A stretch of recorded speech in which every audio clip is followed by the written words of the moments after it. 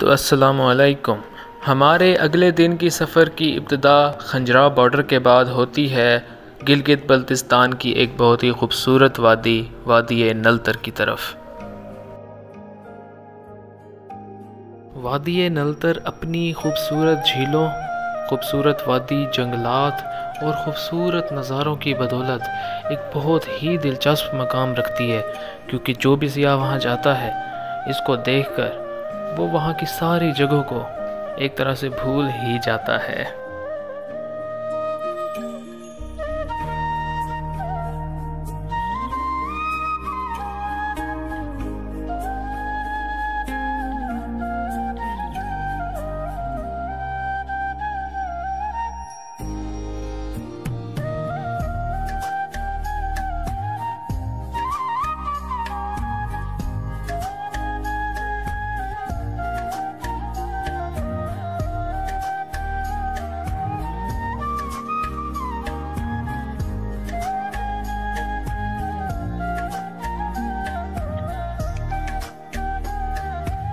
नलतर जाने के लिए आपको गिलगित बल्तिस्त गिलगित शहर से आगे ज़िला नगर की हदूद से पहले एक गाँव नोमल रुकना पड़ता है।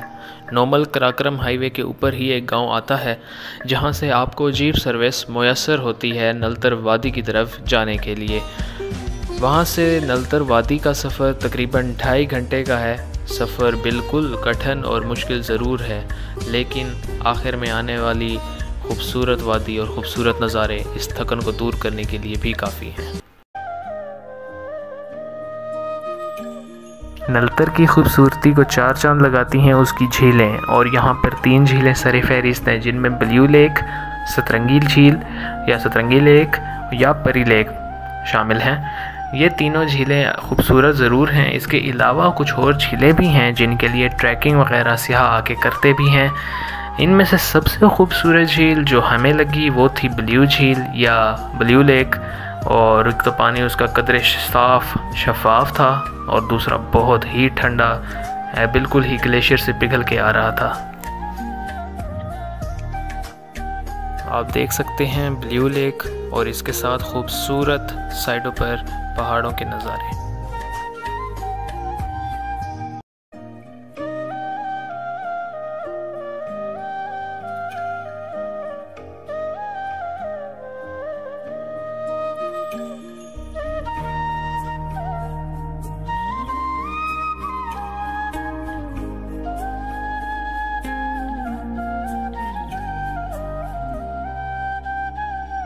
सतरंगी झील के बाद नलतर के खूबसूरत जंगलात शुरू होते हैं। इन्हीं जंगलात में यूनिसेफ ने स्नो लेपर्ड के तहफ़ के लिए सेंटर बनाया हुआ है, या रिहेबिलिटेशन सेंटर बनाया हुआ है। वहाँ पे उनके तहफ़ के लिए एक स्नो लेपर्ड को भी रखा गया है, जो कि आम सिया आते जाते देख सकते हैं।